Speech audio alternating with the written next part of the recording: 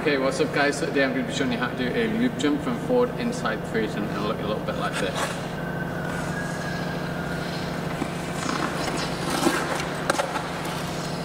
Now when doing this loop jump you need to make sure there's a couple of things that we need to be able to do beforehand. The first thing would be um, a forward inside three turn with good control, good backward outside edge control. And another thing would be the backspin from a pivot.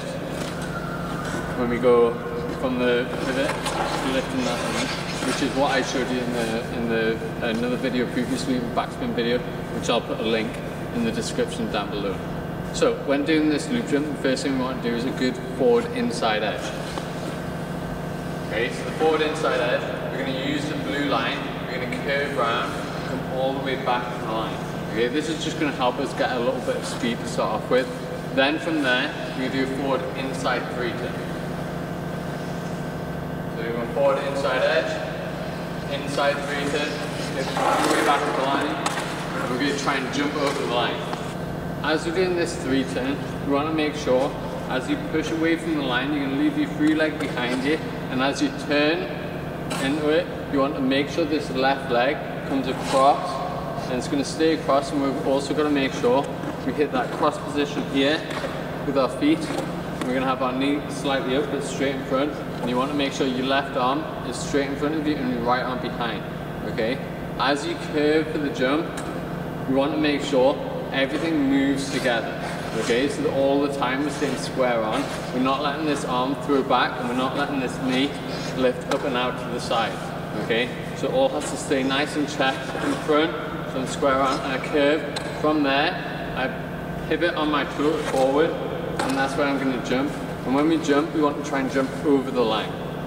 So like I said, when we do that curve, the curve's going to come all the way back to the line on the back edge with my left arm in front, right arm behind. Going to twist my thumb pretty much face the line.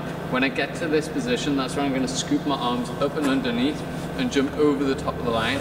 This curve's going to help me with the rotation. Okay, so with the arms, you've got the left arm in front, right arm stretched out behind you, okay?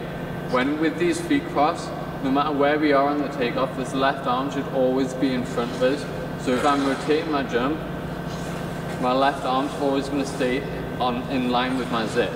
Okay? So it's in line with my zip, in line with my zip, in line with my zip. Okay? So no matter where I am, whether I'm jumping or rotating or on the takeoff, this left arm's always in front of me. Yeah? We never ever want to let our arm go behind us because that's going to make it drop out of the circle and make it very, very difficult to land. A really good exercise for that is as you're going through the, the takeoff, instead of just keeping it in front, we're going to put that left arm on the pocket, okay? You imagine you bring it across your body and putting it on the side, just using the right arm to draw up and in.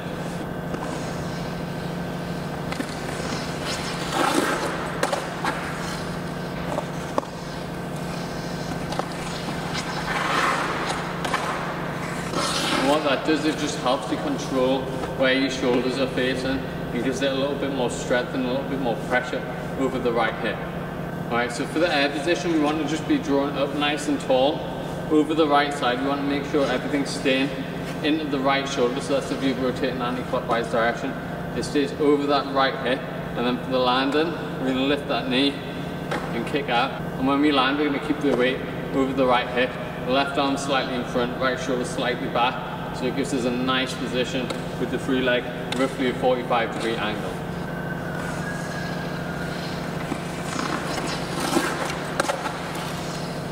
And voila, there we have it, a loop jump from a forward inside three turn.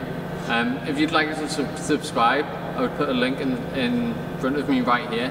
You just click that button here. Also, we've just hit 1,000 subscribers and I'm doing a little giveaway. I'll put the link to that video just in the top corner here. Thank you very much for watching. I'll see you next week.